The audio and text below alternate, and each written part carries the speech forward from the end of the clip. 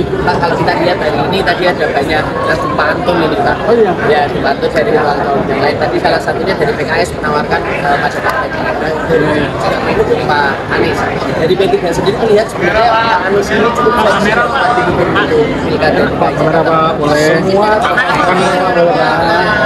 semua tokoh-tokoh yang sekarang tampil untuk ikut berkontestasi ya dalam menjunjung tinggi demokrasi khususnya di DKI dan seluruh Indonesia saya pikir tokoh-tokoh yang pantas semuanya ya tinggal nanti berkompetisi uh, dengan kompetisi yang sehat Insya Allah nanti semua yang dimenangkan adalah kemenangan rakyat.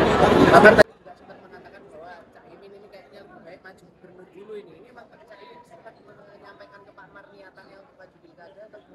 Olha!